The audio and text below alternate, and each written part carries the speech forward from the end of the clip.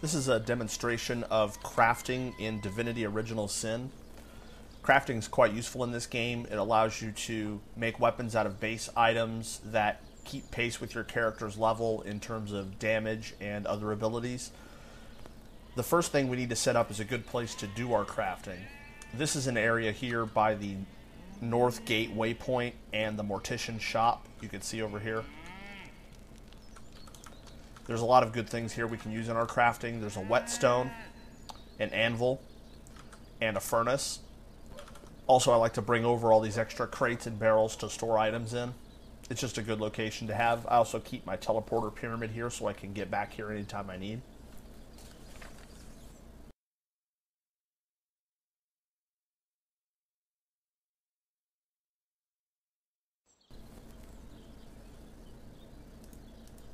First, we're going to begin by creating the main thing that I use, which is the weapon crafting. To make a one-handed weapon is pretty simple.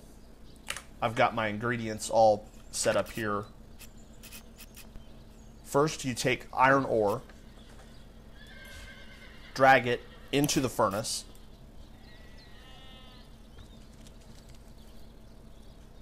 that creates an iron bar.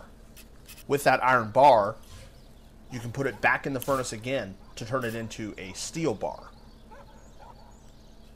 That steel bar you can place on the anvil.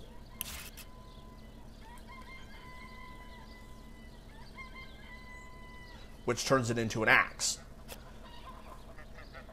This is a pretty high level character, so the damage on this axe is quite high. My crafting skill level is uh, 4, I believe. Yes, level 4. So then you can also, this part is optional, sharpen the axe on the whetstone.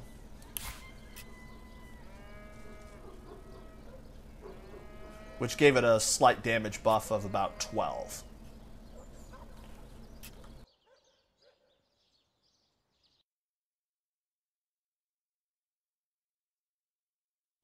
The next thing I'm going to be crafting is in the food area. There's a lot of different food in this game, and it has different effects on your characters when you consume it. Anything from stat boosts to vitality boosts, as well as just general healing properties. So, first, you take this piece of wheat. We're going to be making either bread or another way you can modify that bread. So, wheat is the first step. You use this mortar and pestle to create a lot of food items. So drag the wheat onto the mortar and pestle. That gives you dough, or excuse me, flour. With that flour, you can use water to create dough. So I've already brought this water barrel over here. You can take the bucket, put it on the water barrel. That gives you a bucket with water. Combine the bucket with water with the flour. That gives you the dough I was talking about. Now you can take the dough as is, put it in the furnace, and that'll give you bread.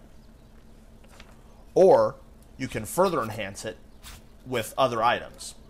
You can use cheese, or what I have here is tomato. With tomato, you take a hammer, smash the tomato with the hammer, by dragging it onto it. That creates tomato sauce. Move the tomato sauce onto the dough.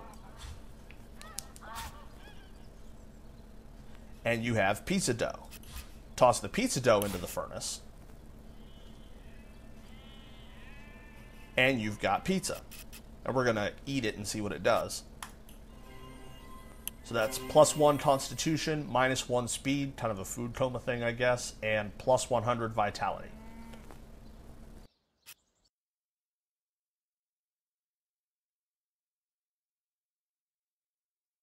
The next thing we're going to craft is some armor. This is a cloth type armor I'm going to make, which is probably the easiest armor to make in the game. First, take a needle and thread and combine them. That gives you a needle and thread, shockingly enough. Now, at this point, you can do two different things. You can go ahead and make the armor, which is what I'm going to do. or you can drag the pixie dust onto the needle and thread. We'll try that now, and I'll show you why I'm not going to do that. To create the armor, you take the needle and thread. With the pixie dust, it's magical, and this would create magic armor. And drag it onto the cloth scraps. I, however, don't have enough skill for that. So I'm going to go ahead and make another needle and thread. Drag it onto the cloth scraps without magically enhancing it. And we end up with polished cloth armor at armor 24 compared to my robe, that's actually pretty good in terms of armor. It doesn't have the other magical properties, though, so we'll have to see which one's better in the end.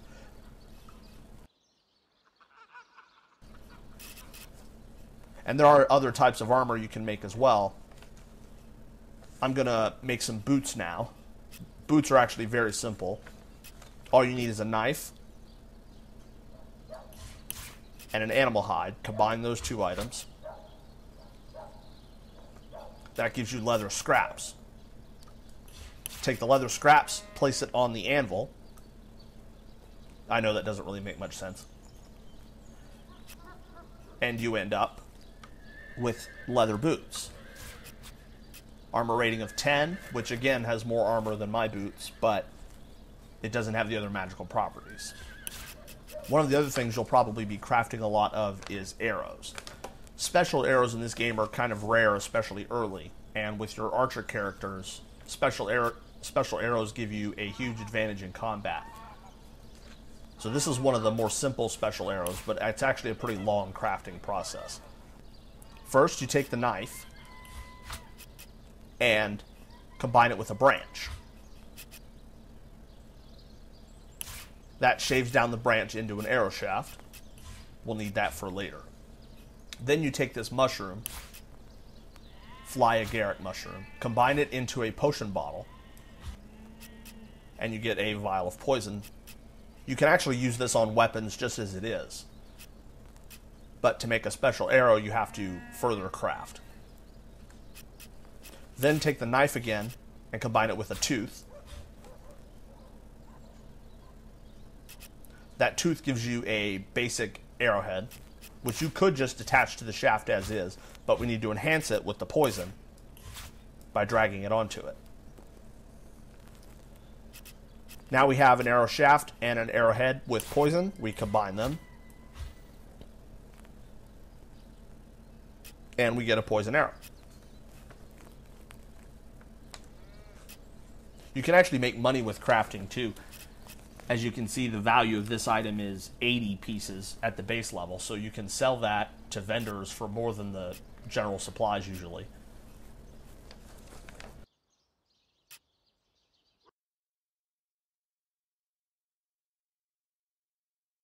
Finally, we're going to look at crafting some various potions. The most basic potion is the minor healing potion. You could take the penny bun mushroom, which are probably the most plentiful mushrooms out there, and combine it with an empty potion flask to get a minor healing potion. You can use that as is with plus 81 vitality, or make another healing potion for two. With two, you have to combine them together, and you can get a bigger potion.